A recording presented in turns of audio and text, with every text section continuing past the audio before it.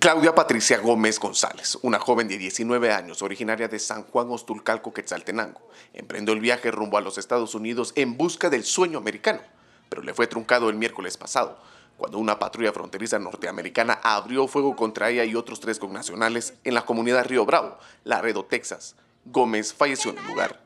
Frente a este suceso, el Consejo Nacional de Atención al Migrante de Guatemala, CONAMIGUA, rechazó la agresión y violación de los derechos humanos de estos connacionales guatemaltecos en Estados Unidos. Solo son los procesos de espera, es importante también la información que va a arrojar la morgue para poderlo oficializar allá y para poder tener la total certeza de los hechos y que posteriormente pues eh, se repatriará el cadáver para poder ser entregado a la familia acá. Ella era una joven estudiosa e inteligente, la mayor de dos hermanas, dijo Dominga Vicente de Vicente, tía de la fallecida.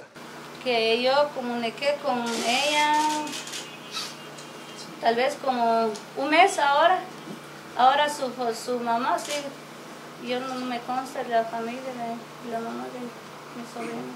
Quizás no es la primera que, no es la primera persona que se está muriendo en su país, ni que han varias personas y lo han tratado como animal y eso no es la forma en que debemos de hacer como personas. Pues. La joven guatemalteca viajó al país norteamericano con el fin de ayudar económicamente a su familia.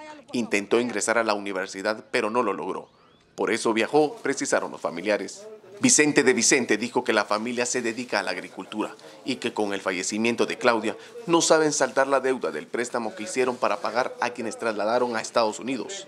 Asimismo, esta familia quetzalteca pidió a los Estados Unidos hacer justicia, investigar la muerte de mi sobrina y que la traigan para darle paz a la familia, expresó.